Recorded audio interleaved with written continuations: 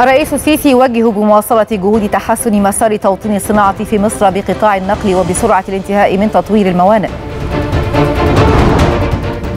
الرئيس السيسي ورئيس الوزراء الإسباني يؤكدان خطورة التصعيد العسكري على رفح الفلسطينية لعواقبه الإنسانية الوخيمة. مصر تدين الانتهاكات الإسرائيلية المتكررة بقطاع غزة وتطالب بإجراء التحقيقات اللازمة للمساءلة ومحاسبة مرتكبيها.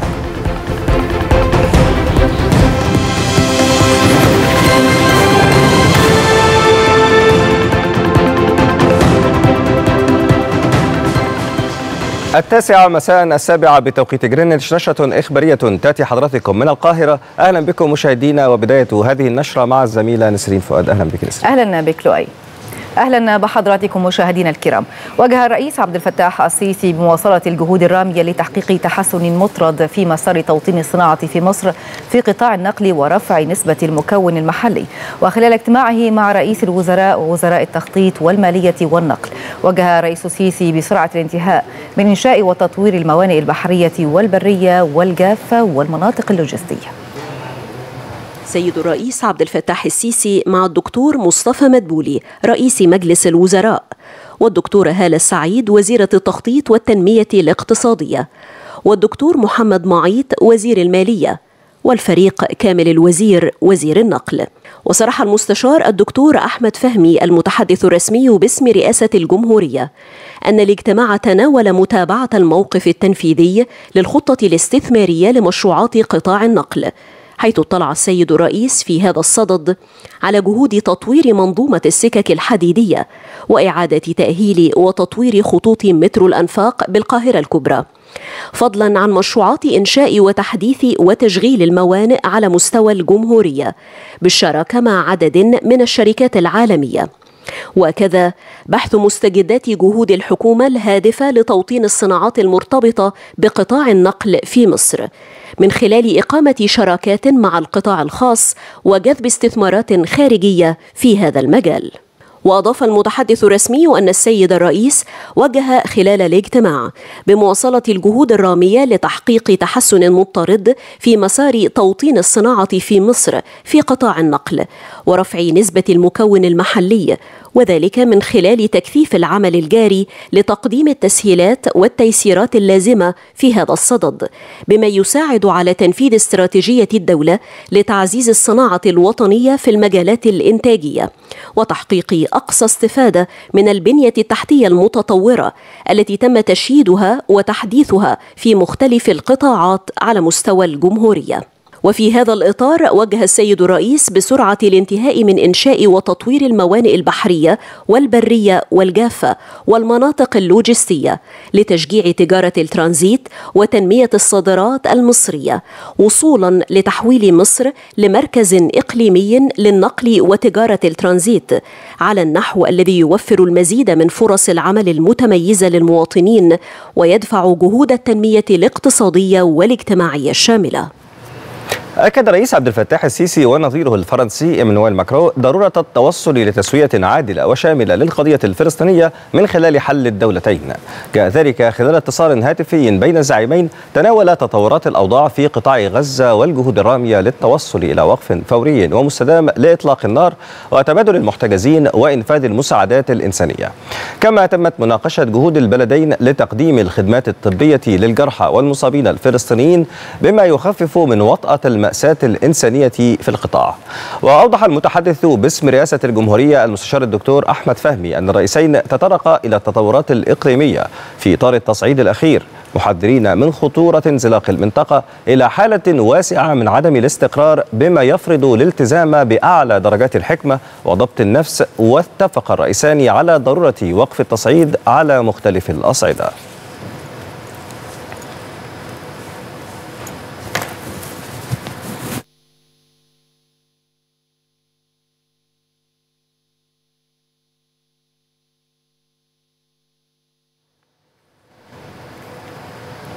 وتلقى السيد رئيس عبد الفتاح السيسي اتصالا هاتفيا من رئيس الوزراء الإسباني بيدرو سانشيز. وصرح المتحدث الرسمي باسم رئاسة الجمهورية بأن الاتصال تناول العلاقات الثنائية بين البلدين حيث أثنى الجانبان على مستوى العلاقات وما تشهده من زخم. واكدا حرصهما على تعزيز التعاون الثنائي في مختلف المجالات بما يتفق ومصالح الشعبين الصديقين. وأضاف متحدث الرئاسة أنه فيما يتعلق بالأوضاع الإقليمية وخاصة في قطاع غزة تم استعراض الجهود المصرية للتهدئة وإنفاذ المساعدات الإنسانية إلى القطاع وقد أشاد رئيس الوزراء الإسباني بالدور المصري على المسارين السياسي والإنساني لإنهاء الأزمة الجارية كما ثمن الرئيس السيسي الموقف الإسباني من الأزمة الراهنة مشيدا بتحركات رئيس الوزراء الإسباني لدعم السلام في المنطقة. وفي هذا السياق تم تأكيد خطورة التصعيد العسكري في مدينة رفح الفلسطينية لعواقبه الإنسانية الوخيمة.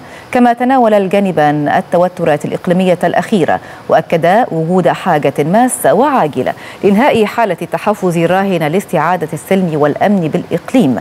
وقد تم التشديد على محورية العمل للوصول إلى تسوية عادلة وشاملة للقضية الفلسطينية وخاصة عن طريق تفعيل حل الدولتين من خلال توسيع الاعتراف بالدولة الفلسطينية المستقلة بما سيدعم جهود استعادة الأمن والاستقرار والسلام في المنطقة.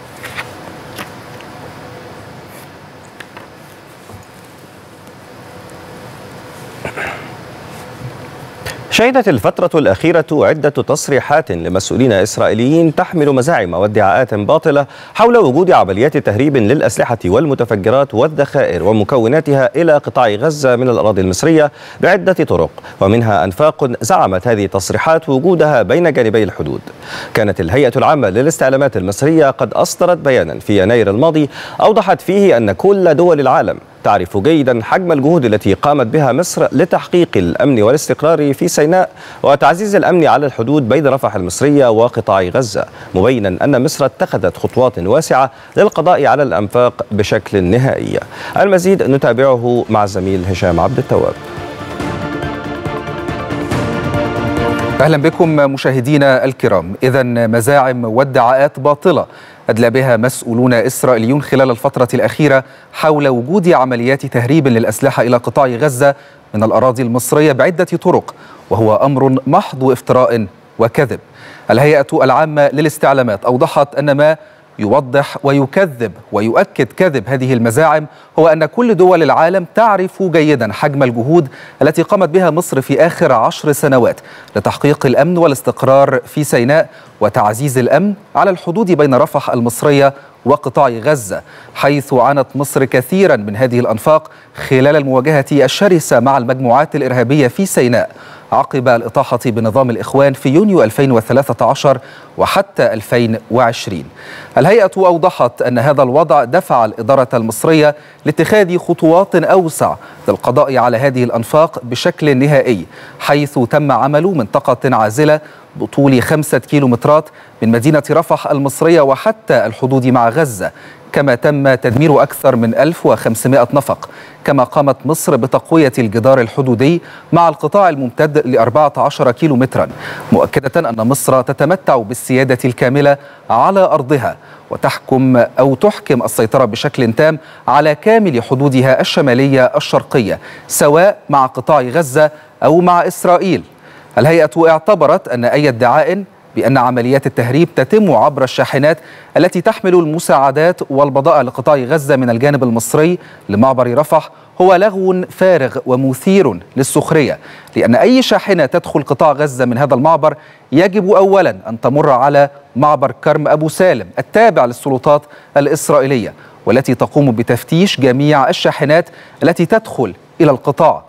الهيئة العامة للاستعلامات قالت إن الجوهر الحقيقي لادعاءات إسرائيل هو محاولة منها لخلق شرعية لسعيها لاحتلال ممر فيلادلفيا أو ممر صلاح الدين في قطاع غزة على طول الحدود مع مصر بالمخالفة للاتفاقيات والبروتوكولات الأمنية الموقعة بينها وبين مصر مشددة على أن أي تحرك إسرائيلي في هذا الاتجاه سيؤدي إلى تهديد خطير وجدي للعلاقات المصرية الإسرائيلية وتؤكد مصر رفضها القاطع لتهجير الفلسطينيين قسرا أو طوعا إلى سيناء وهو ما لن تسمح لإسرائيل بتخطيه مشيرة أنه على الحكومة الإسرائيلية أن تجري تحقيقات جادة بداخل جيشها وأجهزتها وقطاعات مجتمعها للبحث عن المتورطين الحقيقيين في تهريب الأسلحة إلى قطاع غزة ومن بينهم بهدف التربح.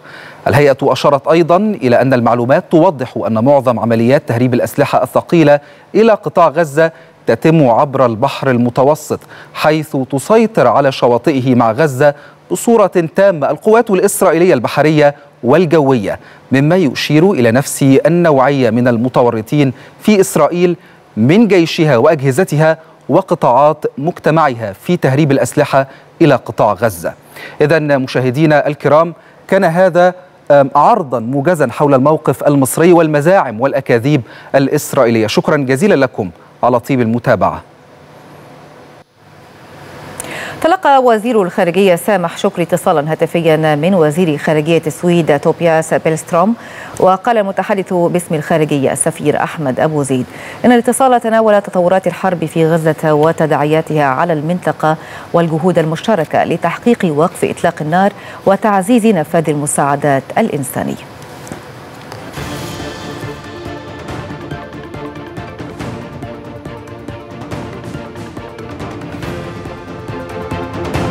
أعرب رئيس مجلس الوزراء الدكتور مصطفى مدبولي عن تطلع مصر للحصول على دعم المنظمة الدولية والجهة المانحة لمواجهة أعباء استضافة المهاجرين في ظل التحديات الاقتصادية الراهنة. وخلال لقائه المدير عام للمنظمة الدولية للهجرة إيمي بوب قال مدبولي إن الدعم الذي تتلقاه مصر من المجتمع الدولي لا يتناسب مع ما تتحمله من أعباء لتوفير حياة كريمة للوافدين إليها. وأكد رئيس الوزراء حرص مصر بصفتها دولة رائدة في تنفيذ الاتفاق العالمي للهجرة حرصها على تقديم الدعم والخدمات للمهاجرين. وهو ما يتطلب الحصول على المزيد من الدعم من المجتمع الدولي وألا يقتصر هذا الدعم على البرامج والمساعدات قصيرة المدى بل يتجاوز ذلك ليشمل دعما هيكليا متوسط المدى حتى تتمكن الحكومة من الاستمرار في تقديم الخدمات ويخفف من الأعباء الملقاة على عاتقها. من جانبها أكدت مسؤولة الهجرة أن المنظمة تؤيد تقديم الدعم لمصر لتخفيف الأعباء عنها جراء استضافتها الكثير من المهاجرين واللاجئين.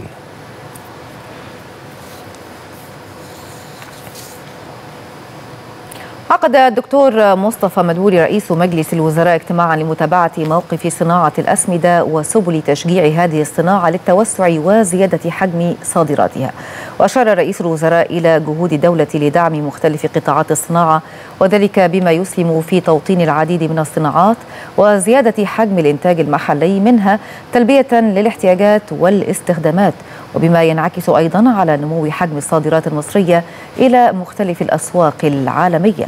وأكد رئيس الوزراء توجه الحكومة لإتاحة المزيد من التيسيرات تشجيعا للتوسع في هذه الصناعة المهمة باستخدام أحدث التكنولوجيات المطبقة وتعظيما لما نمتلكه من مقومات واعدة في هذا المجال. وذلك بما يسهم في زيادة حجم المنتجات من هذه الصناعة ونمو حجم صادراتها وفتح أسواق تصديرية جديدة.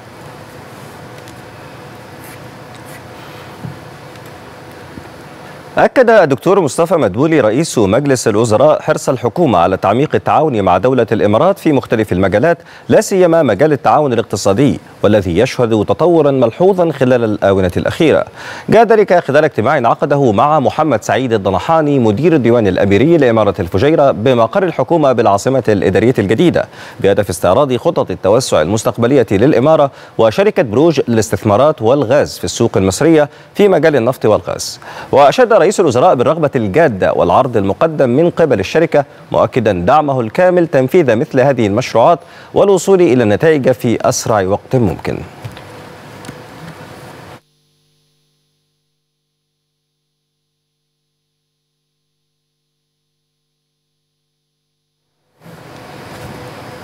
هنأ الدكتور مصطفى مدبولي رئيس مجلس الوزراء الرئيس السيسي بمناسبة الذكرى الثانية والأربعين لعيد تحرير سيناء وعودتها إلى حضن الوطن. أكد مدبولي في برقيته أن هذه المناسبة ستظل دوما. وأبدا فخرا لجميع المصريين للتذكير بنصر أكتوبر المجيد الذي قدم فيه أبناء مصر البواسل أرواحهم ودماءهم فداء للوطن. وضربوا أروع الأمثلة في البطولة والوطنية الصادقة من أجل عزة وكرامة وتراب الوطن والحفاظ على مقدراته. وأشاد مدبولي بالتوجيهات المستمرة للرئيس السيسي ببذل كافة الجهود لتحقيق التنمية في ربوع سيناء وبناء المجتمعات العمرانية الجديدة وتوفير فرص العمل في إطار المشروع القومي الكبير لتنمية شبه جزيرة سيناء. كما بعث رئيس مجلس الوزراء برقية تهنئة للفريق أول محمد زكي القائد العام للقوات المسلحة وزير الدفاع والإنتاج الحربي بذات المناسبة.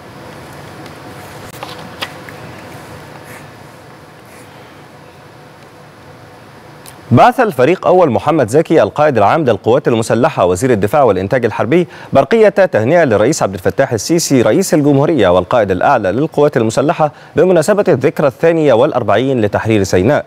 وجاء في نص البرقية أن رجال القوات المسلحة يهنئون الرئيس السيسي بهذه الذكرى الوطنية المجيدة ويؤكدون وفائهم وإخلاصهم للمهام والمسؤوليات التي كلفهم شعب مصر العظيم بها لحماية الوطن وصون مقدساته متمسكين بروح نصر أكتوبر ومقتدين بجيلها من رجال القوات المسلحة الذين سطروا بطولاتهم وتضحياتهم بأحرف من نور في سجلات شموخ الوطن ورفعوا راية مصر على أرض سيناء الحبيبة تخفق بالعزة والكرامة الوطنية. كما بعث الفريق أسامة عسكر رئيس أركان حرب القوات المسلحة برقية تهنئة مماثلة لرئيس السيسي القائد الأعلى للقوات المسلحة. هذا وأصدر الفريق أول محمد زكي القائد العام للقوات المسلحة وزير الدفاع والإنتاج الحربي والفريق أسامة عسكر رئيس أركان حرب القوات المسلحة توجيهات لتهنئة القادة والضباط وضباط الصف والصناع العسكريين والجنود والعاملين المدنيين بالقوات المسلحة ووزارة الإنتاج الحربي. وكذا أفراد القوات المسلحة المشاركين بقوات حفظ السلام بمناسبة الذكرى الثانية والأربعين لتحرير سيناء.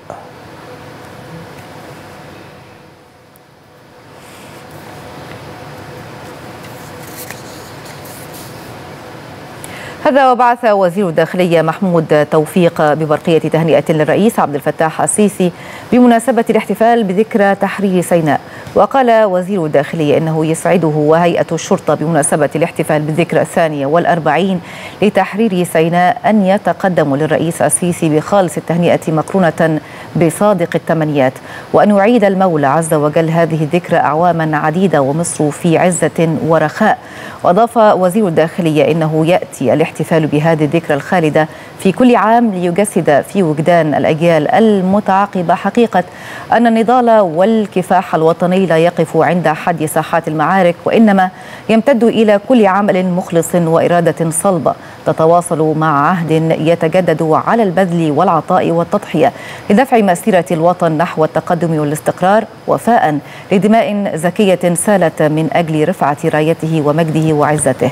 كما بعث وزير الداخلية ببرقية تهنئة مماثلة للفريق أول محمد زكي وزير الدفاع والإنتاج الحربي والفريق أسامة عسكر رئيس أركان حرب القوات المسلحة.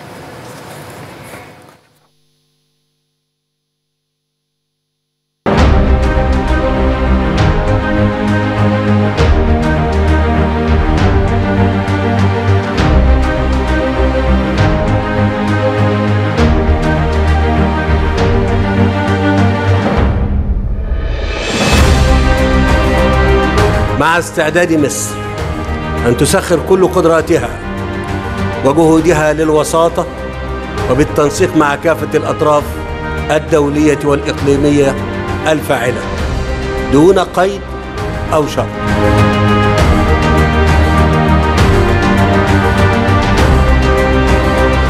وهو ما يستوجب تسهيل وصول المساعدات الإنسانية لأبناء الشعب الفلسطيني. بشكل عاجل.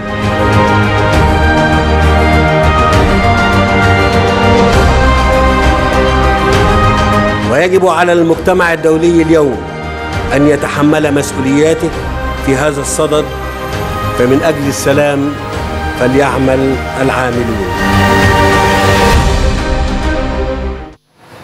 أعلن المركز الإعلامي للتحالف الوطني للعمل الأهلي التنموي انطلاق القافلة السابعة للمساعدات الإنسانية والإغاثية والعلاجية للأشقاء الفلسطينيين والتي تتضمن أكثر من 167 قاطرة محملة بأكثر من 2985 طنا من المواد الغذائية والأدوية وألبان الأطفال والمستلزمات الطبية والإغاثية والمياه. ويأتي ذلك تنفيذا لتوجيهات الرئيس عبد الفتاح السيسي بتقديم الدعم الفوري والإغاثة الإنسانية لدولة فلسطين وهو ما يتم بشكل مستمر في إطار دعم وتضامن مصر تجاه الشعب الفلسطيني لتخفيف حدة أحداث العنف التي أدت إلى سقوط العديد من الضحايا والمصابين.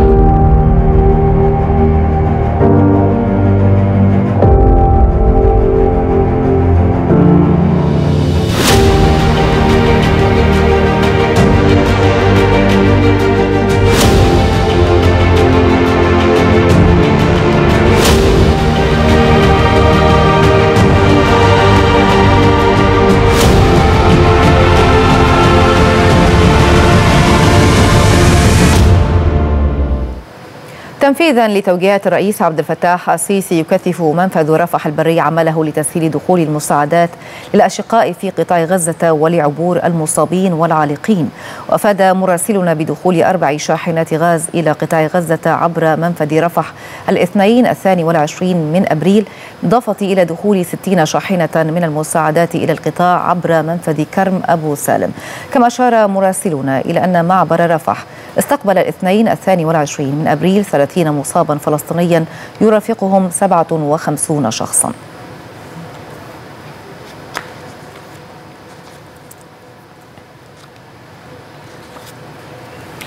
قالت وزارة الخارجية إنه من المؤسف والمشين أن يستمر انتهاك القانون الدولي والقيم الإنسانية بهذه الفجاجة في القرن الحادي والعشرين على مرأى ومسمع من جميع دول العالم والمنظمات الدولية المعنية ومجلس الأمن.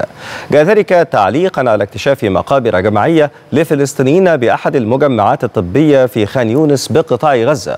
وأدان السفير أحمد أبو زيد المتحدث الرسمي باسم وزارة الخارجية الانتهاكات الإسرائيلية المتكررة لأحكام القانون الدولي والقانون الدولي الإنساني في قطاع غزة والتي تطال المدنيين العزل والنازحين والأطقم الطبية.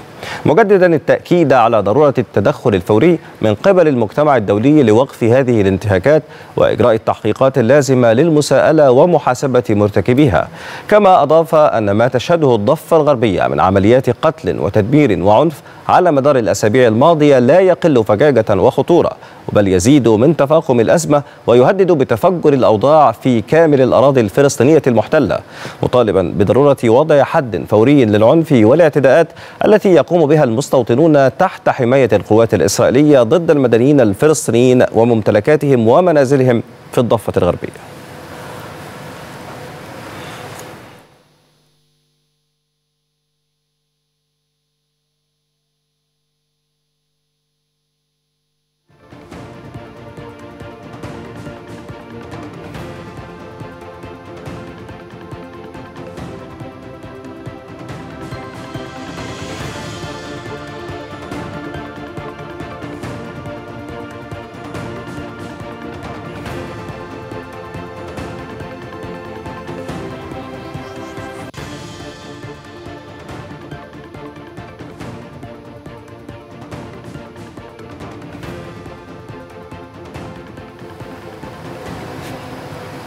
وكانت طواقم الإنقاذ والإسعاف الفلسطينية قد أعلنت انتشال جثامين 283 شهيدا من ثلاث مقابر جماعية في مجمع ناصر الطبي. ومن مدينة خان يونس جنوب قطاع غزة وقالت مصادر صحفية إن طواقم الإنقاذ والإسعاف انتشلت اليوم جثمين 73 شهيدا من مقبرة جماعية بمستشفى ناصر الطبي وبذلك يرتفع العدد الإجمالي للشهداء الذين عثر على جثامينهم.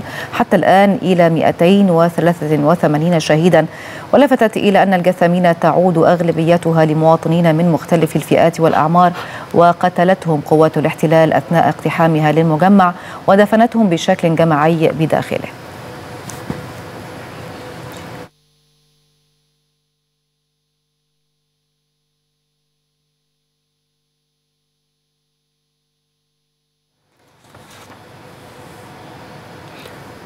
أعلن المندوب الدائم لدولة فلسطين لدى جامعة الدول العربية السفير مهند العكلوك أن دولة فلسطين تقدمت بطلب عقد دورة غير عادية لمجلس الجامعة على مستوى المندوبين الدائمين في أقرب وقت ممكن وذلك في ضوء استمرار جريمة الإبادة الجماعية ضد الشعب الفلسطيني في قطاع غزة وتصاعد العدوان الإسرائيلي وإرهاب المستوطنين في الضفة الغربية المحتلة بما فيها القدس واستخدام الولايات المتحدة الأمريكية للفيتو في مجلس الأمن ضد حصول دولة فلسطين على العضوية الكاملة في الأمم المتحدة.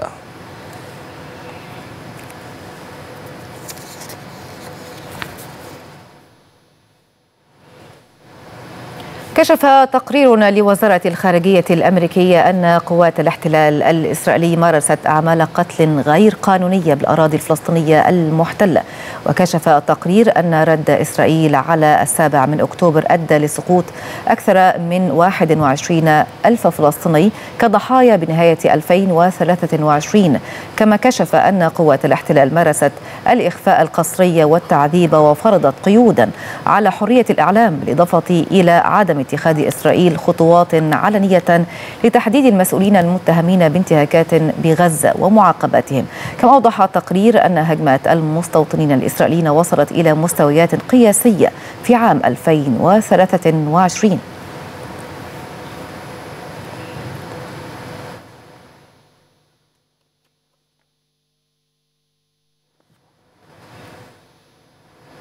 قالت المقررة الأممية المعنية بالحق في الصحة إن غزة تشهد إبادة جماعية بشكل لا لبس فيه.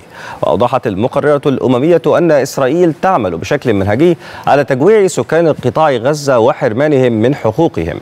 مشيرة إلى أن قطاع الصحة مدمر بفعل الهجمات الإسرائيلية فضلا عن تدمير مقرات المؤسسات والمنظمات التي تعمل على إيصال المساعدات الإنسانية.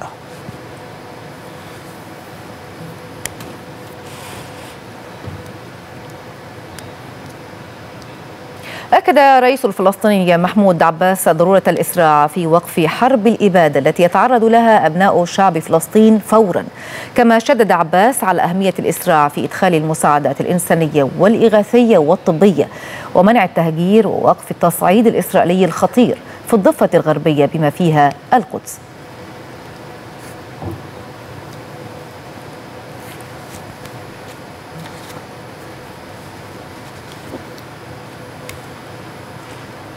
جدد مدير عام منظمة الصحة العالمية تدرس أدهانوم التأكيد على الحاجة إلى مرور آمن ومستدام وسلس للمساعدات والبعثات الإنسانية عبر قطاع غزة لخدمة الأشخاص الذين هم في أمس الحاجة للرعاية المنقذة للحياة. وقال أدهانوم إن منظمة الصحة العالمية وشركائها في مجال العمل الإنساني لم يتمكنوا من إكمال مهمتهم إلى مستشفى كمال عدوان والعودة في غزة إلا جزئيا بسبب التأخير الشديد عند نقاط التفتيش واستمرار الأعمال العدائية وأضاف أنه نتيجة لذلك لم يصل الوقود والإمدادات الطبية إلى مستشفى كمال عدوان للمرة الثانية خلال الأيام السبعة الماضية. ولم يتمكن الشركاء أيضا من تقييم الاحتياجات في مستشفى العودة لدعم استعادة الخدمات هناك.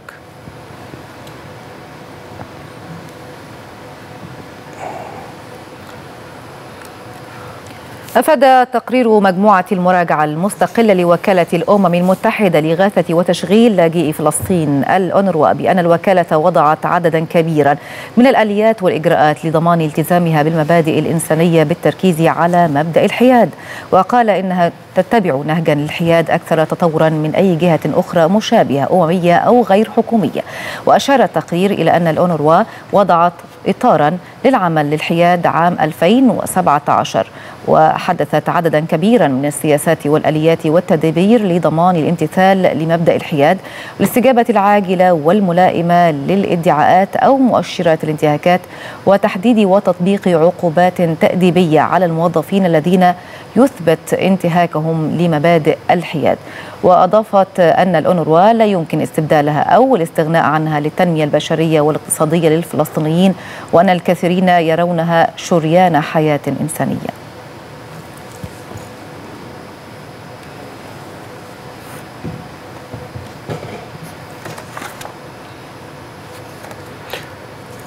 قال برنامج الإغذاء العالمي إنه استخدم طريقا منسقا جديدا لإيصال المساعدات إلى شمال قطاع غزة. من جانبه أعرب سكان شمال قطاع غزة عن ارتياحهم قليلا من عودة بعض المخابز للعمل من جديد.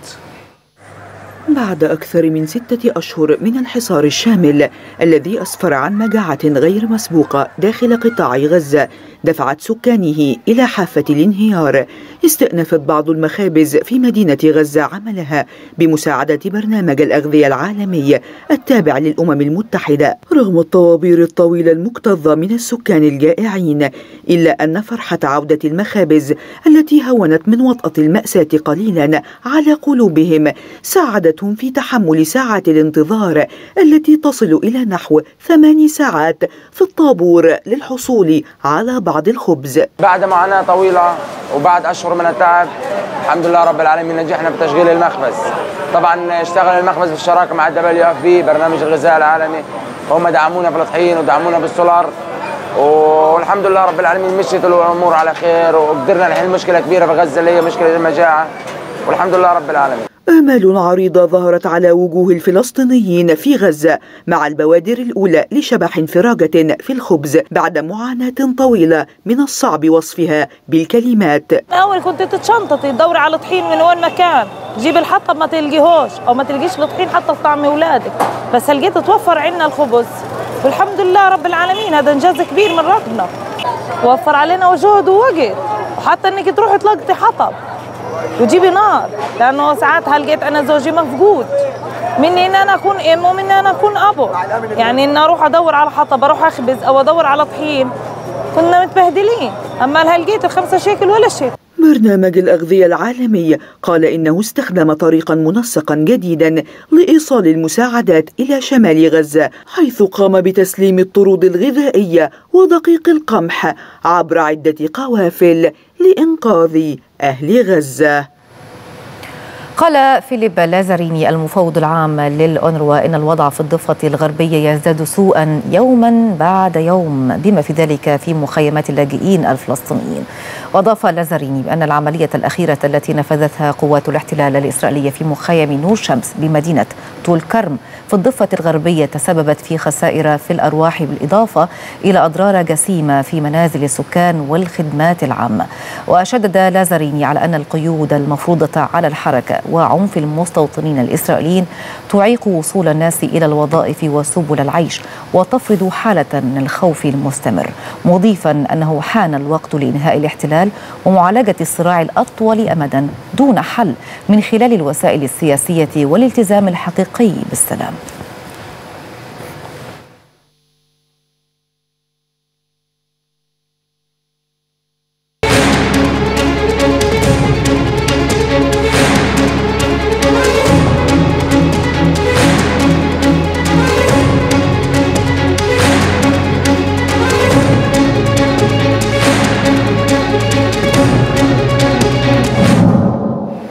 أفادت مراسلة القاهرة الإخبارية بإطلاق رشقة صاروخية كبيرة باتجاه مدينة صفد شمال إسرائيل من الجنوب اللبناني.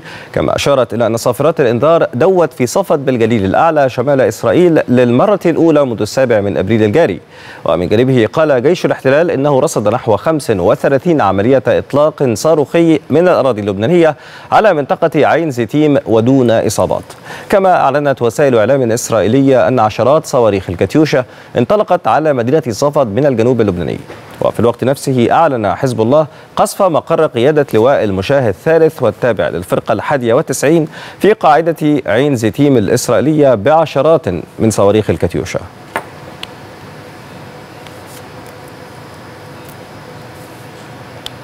أصيب مواطنا في غارة إسرائيلية على بلدة صريفة جنوب لبنان وأفادت السلطات اللبنانية بأن الطيران الحربي الإسرائيلي شن غارة استهدفت منزلا في المنطقة الواقعة بين بلدتي صريفة ودردغية ما أدى إلى إصابة شخصين بجروح طفيفة.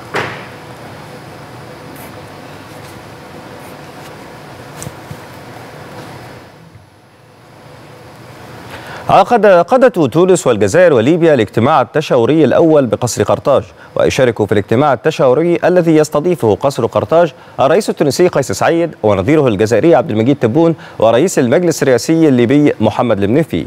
وأكد رئيس الجزائري عبد المجيد تبون في تصريحات لدى وصوله إلى تونس للمشاركة في القمة الثلاثية. أكد متانة العلاقات بين بلاده وتونس مشددا على أن تونس لن تسقط أبدا.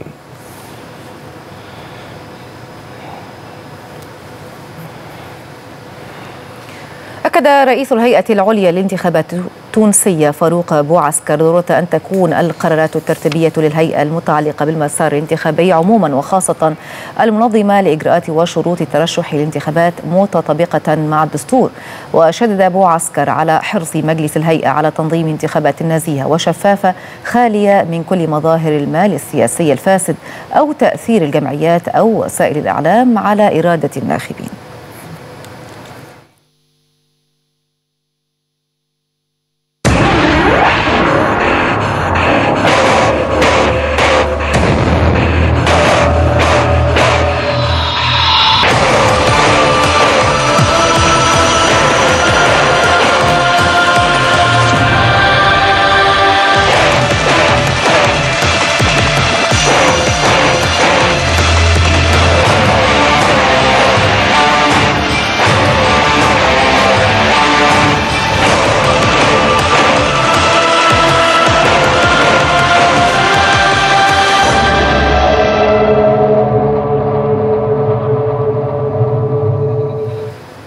قال الجيش الأوكراني إن روسيا لديها نحو 25 ألف جندي يحاولون اقتحام بلدة تشاسيف يار بشرق أوكرانيا والقرى المحيطة بها ووصف الوضع في المنطقة بأنه صعب.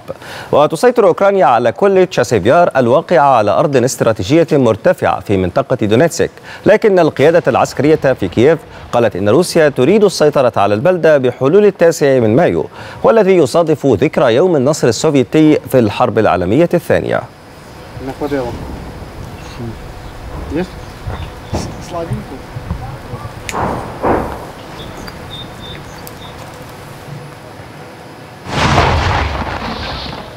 يأتي هذا بينما حذر رئيس الاستخبارات العسكرية الأوكرانية كيريلو بودانوف من هجوم روسي جديد مع مواجهة صعوبات على الجبهة الأوكرانية خلال الشهر القادم. وأكد بودانوف أن الجيش الأوكراني يواجه نقصا في المجندين الجدد والذخيرة بسبب التأخير الكبير في تسلم المساعدات الغربية وذلك على الرغم من أن الكونغرس الأمريكي صوت مؤخرا على منح كييف مساعدات عسكرية بقيمة 61 مليار دولار كانت عالقه منذ طويلة.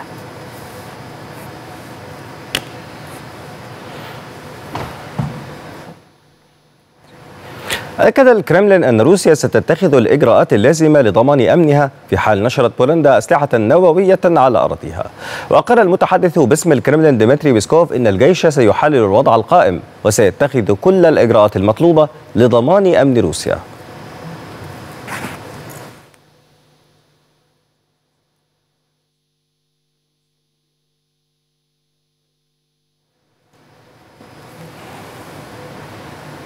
وكان الرئيس البولندي أندري دودا قد أعلن استعداد بلاده لنشر أسلحة نووية على أراضيها في حال. قرر الناتو تعزيز جبهته الشرقية في مواجهة نشر روسيا أسلحة جديدة في بيلاروسيا ومدينة كالينغراد. المزيد في هذا في هذا التقرير. في خطوة تهدد باتساع المواجهة مع روسيا أكد الرئيس البولندي أندريا دودا استعداد بلاده العضو في حلف شمال الأطلسي لنشر أسلحة نووية على أراضيها. بحال قرر الناتو تعزيز جبهته الشرقية في مواجهة إجراء روسية مماثل على أراضي بيلاروسيا. الخطوة البولندية جاءت خلال زيارة لرئيس دودا للولايات المتحدة. عقد خلالها لقاءات مع عدد من المسؤولين الأمريكيين. بالإضافة إلى الرئيس الأمريكي السابق دونالد ترامب تركز بشكل أساسي على الأزمة الأوكرانية الروسية. وكشف الرئيس البولندي أن المباحثات بشأن التعاون النووي مع الولايات المتحدة تجري منذ مدة. موضحا أن بلاده أبدت استعدادها لهذه الخطوة خلال المحادثات مع واشنطن. الرئيس البولندي اعتبر أن قرار بلاده لنشر الأسلحة النووية جاء ردا على الإجراءات الروسية الأخيرة لتعزيز تواجدها العسكري في كالينغراد بالإضافة لنشرها أسلحة نووية في بيلاروسيا. وردا على الإعلان البولندي أكد الكرملين أن موسكو ستتخذ الإجراءات اللازمة لضمان أمنها في حال نشرت وارسو أسلحة نووية على أراضيها. وخلال القمة الأخيرة لحلف شمال الأطلسي في لوتوانيا تعهد الحلفاء باتخاذ كل الخطوات اللازمة لضمان صدقية وفعالية وسلامة وأمن مهمة الردع النووي للحلف. في أعقاب إعلان الرئيس الروسي فلاديمير بوتين نشر أسلحة نووية تكتيكية في أراضي حليفته بيلاروسيا المجاورة من أوكرانيا وبولندا.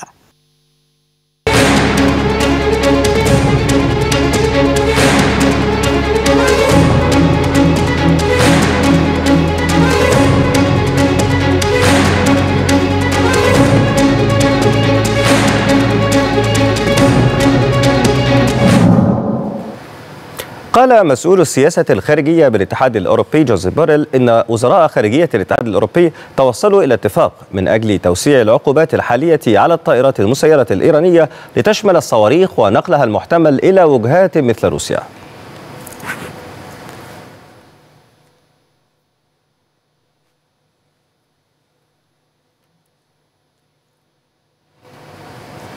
دعا الرئيس الفرنسي ايمانويل ماكرون جميع الأطراف إلى الالتزام بأكبر قدر من ضبط النفس وأشار ماكرون إلى أنه يسعى إلى تفادي تدهور الوضع في الشرق الأوسط مكررا عزمه على تشديد الإجراءات لمواجهة أفعال إيران المزعزعة للاستقرار. كما اعتبر ماكرون أن الهجوم الذي شنته إيران على إسرائيل ينطوي على خاطر تصعيد عسكري شامل.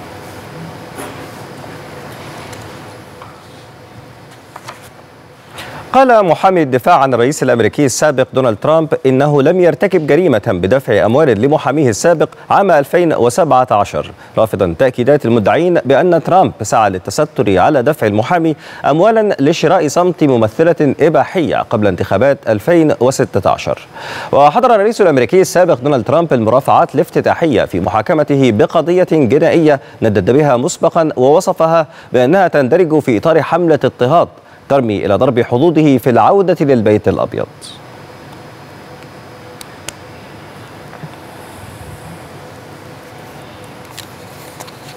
أعلنت الحكومة الأرمينية أن رئيس الوزراء نيكول باشينيان استقبل الممثل الخاص للاتحاد الأوروبي لجنوب القوقاز تويفو كلار لبحث مسألة ترسيم الحدود بين أرمينيا وأذربيجان. وناقش الجانبان أيضا الوضع الإقليمي الراهن في المنطقة والمفاوضات الجارية بشأن معاهدة السلام بين أرمينيا وأذربيجان. وشدد كلار على دعم الاتحاد الأوروبي الكامل لعملية المفاوضات بين باكو ويريفان في سبيل التوصل إلى تسوية شاملة ودائمة.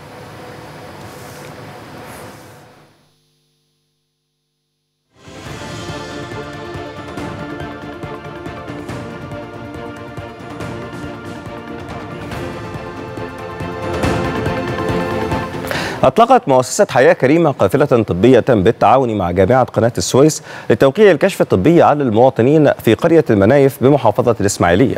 وتقدم القافلة الكشف بالمجان في تخصصات طبية متنوعة لكل الفئات العمرية. وكما تمتد لتشمل التوعية الأسرية للمقبلين على الزواج بالإضافة لتقديم خدمات الإرشاد الزراعي والخدمات البيطرية المختلفة. إحنا النهارده مؤسسة حياة كريمة بتقوم بالتعاون مع جامعة قناة السويس في تقديم القافلة الطبية والزراعية والبيطرية والتوعوية. إحنا النهارده متواجدين داخل قرية المنايف تحديدا في مركز أبو سوير في مدرسة الشهيد المرحوم غريب الابتدائية. والحقيقة إن إحنا بنقدم النهارده أكتر من 11 تخصص طبي ما بين رمد ما بين عظام ما بين أطفال ما بين بطنة ما بين نساء وتوليد تخصصات كتيرة جدا. أيضا عندنا القوافل الزراعية والبيطرية بتجوب المزارع بتجوب المواشي للكشف عليها وتقديم الخدمات الطبية وتقديم التوعية المناسبة لأهالينا من الفلاحين بخصوص كيفية الزراعة كيفية التوعية الزراعية أيضا الكشف على المواشي وتقديم الأدوية البيطرية ليهم. النهارده زي ما حضرتك شايف الإقبال الكبير جدا من أهالي القرية خصوصا إن القافلة بتقدم تخصصات كتيرة جدا بتقدم أدوية كتيرة جدا في كافة التخصصات. وإحنا شغالين معاهم إن شاء الله وبإذن الله يعني ننال استحسانهم وننال القدر المناسب من رضاهم بإذن الله. جامعة قناة السويس بتقدم قوافل شاملة لمحافظة الإسماعيلية مراكز محافظة الإسماعيلية ومحافظة السويس على هيئة قوافل طبية. الكشف والعلاج بالمجان يمكن أكثر من 11 تخصص وكمان قوافل طبية بيطرية.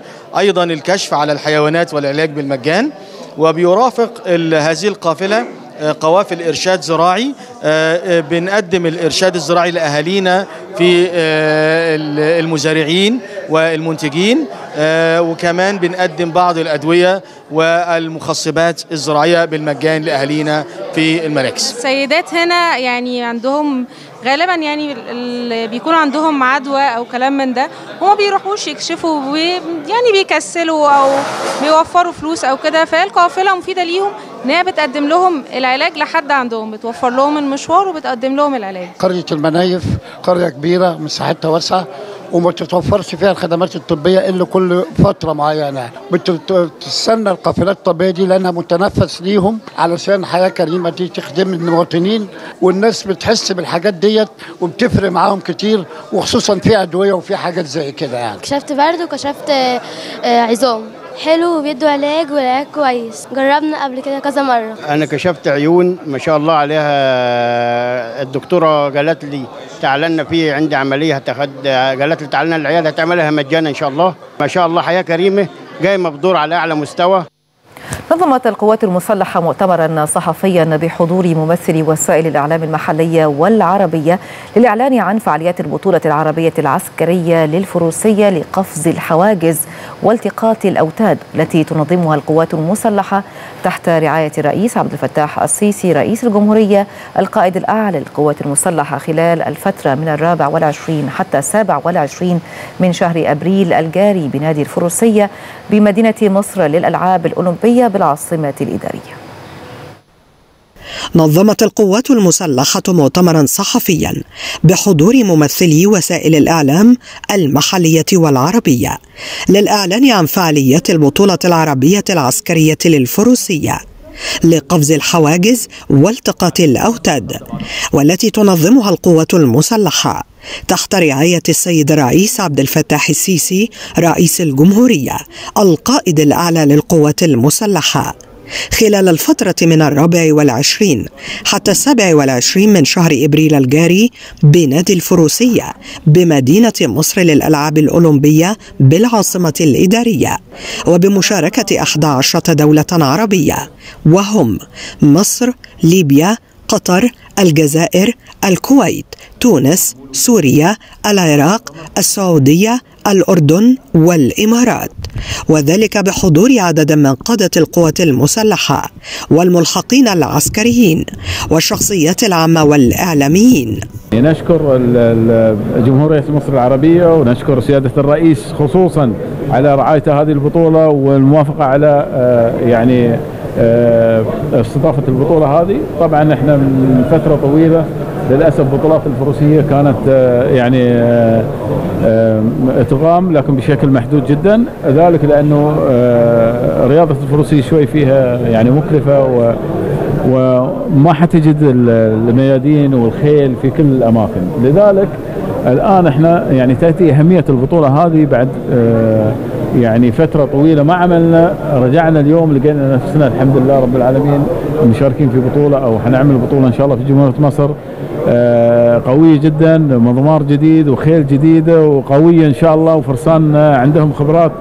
لذلك إحنا آه، حيكون فرصة لتشارك الخبرات وفرصة لتحقيق نتائج وفرصة لتطوير ال- ال- الخيل وكذلك الفرسان ويعني آه، حتى الفكر ال- ال- الرياضي بشكل عام. سعيد إن إحنا آه، اشتركنا وتم اختيارنا مع آه، إدارة المدرعات في القوات المسلحة إن إحنا آه، نكون جزء من آه، الفعاليات اللي بتنظم دلوقتي. آه، هي بطولة كبيرة جدا بطولة عسكرية وبطولة ناشئين دولية وبطولة جمهورية. آه، وده توجه مهم من الدولة لتطوير رياضة الفروسية. آه، في منشآت كبيرة جدا تمت وأنا سعيد إن إحنا جزء من منظومة بتسعى لإنجاح آه، رياضة الفروسية في جمهورية مصر العربية. يأتي ذلك انطلاقا من حرص القيادة العامة للقوات المسلحة على تقديم كافة أوجه الدعم بما يضمن تحقيق النجاح التنظيمي للبطولة.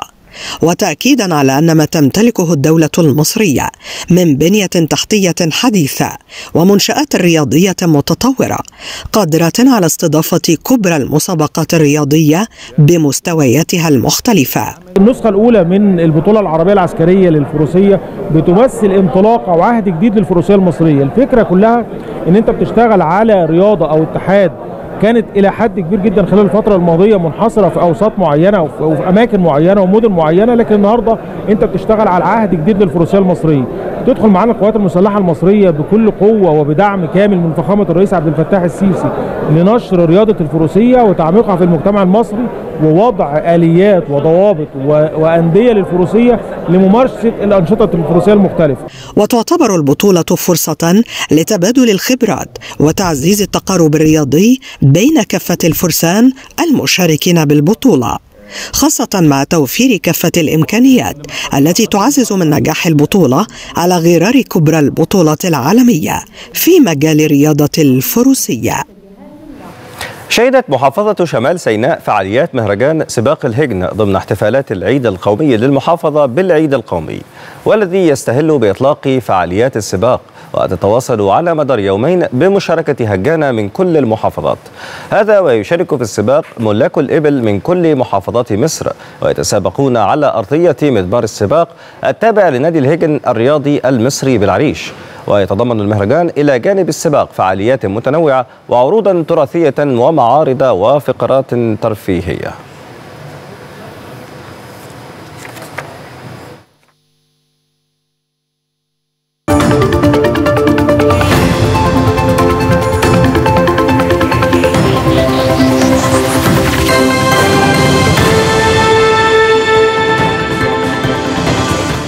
ورياضيا حقق فريق وزاد فوزا كبيرا وبثلاثية دون رد على حساب ضيفه الجونة في اللقاء الذي جمع الفريقين على استاد القاهرة الدولي. ضمن مواجهات الجولة التاسعة عشرة من بطولة الدوري الممتاز سجل ثلاثية زد كل من بيتر زيلو وموتسي موسي في الدقيقة الثامنة وعبد الرحمن البنوبي في الدقيقتين الثانية والعشرين والثالثة والثلاثين من عمر اللقاء بهذا الفوز. رفع زد رصيده إلى 30 نقطة فيما توقف رصيد الجونة عند 25 نقطة.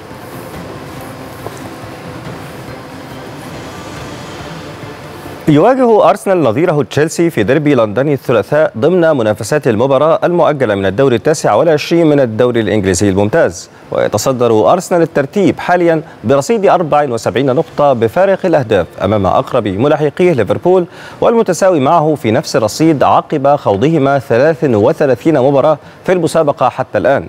فيما يست... يبتعدان بفارق نقطة أمام مانشستر سيتي صاحب المركز الثالث والذي لعب مباراة أقل.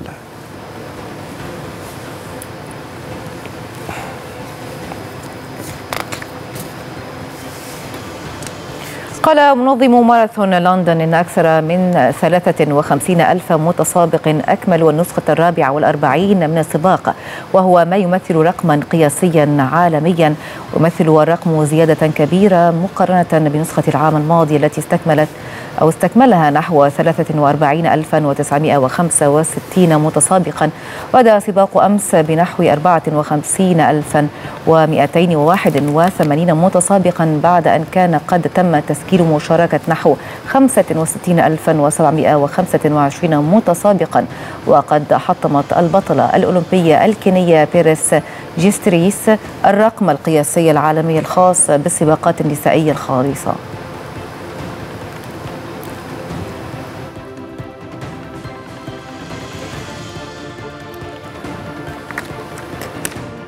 Thank you.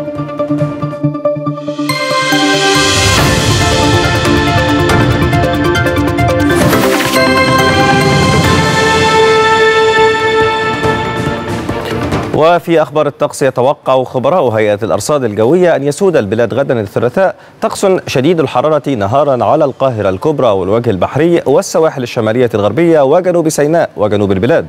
بينما يسود طقس معتدل ليلا على الأنحاء كافة وفيما يلي بيان بدرجات الحرارة المتوقعة.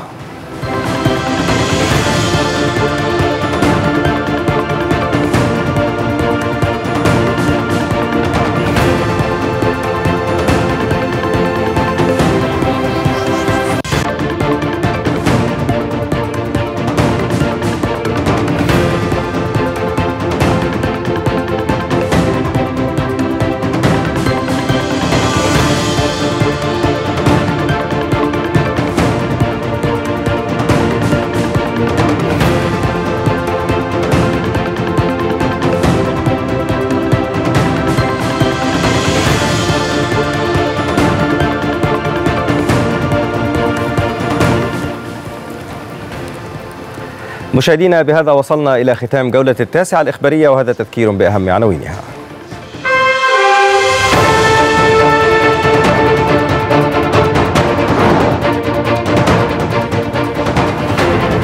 الرئيس السيسي يوجه بمواصلة جهود تحسن مسار توطين الصناعة في مصر بقطاع النقل وسرعة الانتهاء من تطوير الموانئ.